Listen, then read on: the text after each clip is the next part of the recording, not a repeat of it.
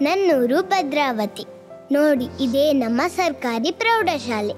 ಮಳೆಗಾಲದಲ್ಲಿ ಇಲ್ಲಿ ಸಿಗೋ ಮಜಾನೇ ಬೇರೆ.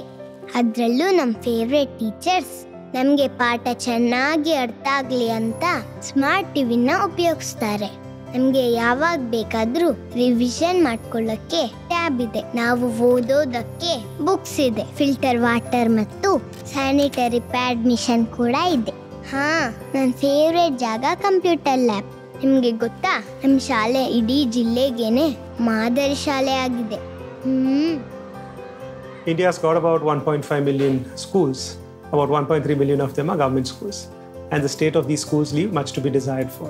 So we predominantly work by ensuring that these schools turn out to be model schools so that children, parents, teachers, and the community are there because they want to be there.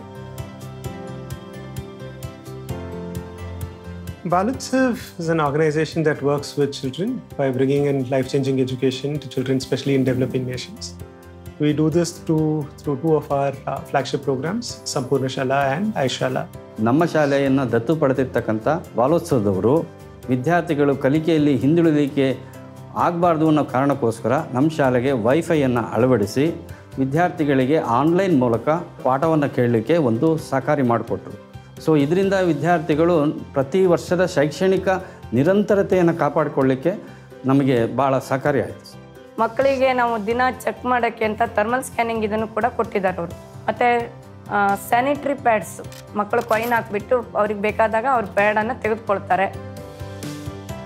ಶಾಲೆಗೆ ಆರಂಭದಲ್ಲಿ ಮಕ್ಕಳಿಗೆ ಏನು basic needs ಬೇಕಾಗಿದೆ facilities books ಇರ್ಬೋದು notebook ಇರ್ಬೋದು.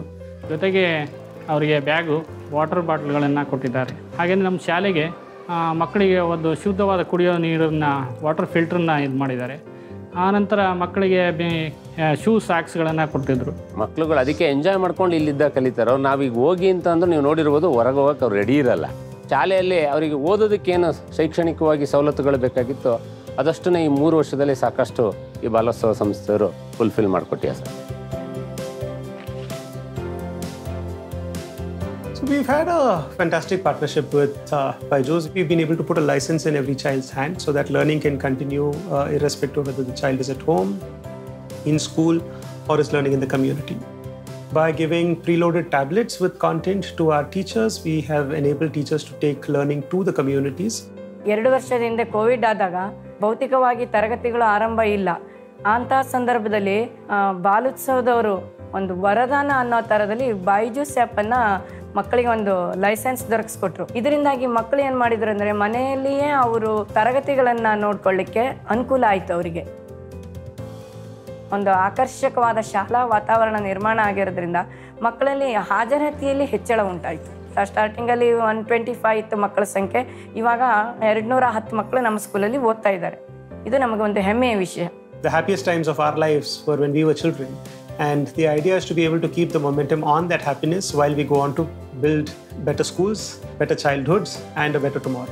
Tomorrow's problems can be solved if we start working with today's children, and that's the founding thought of Balutsu.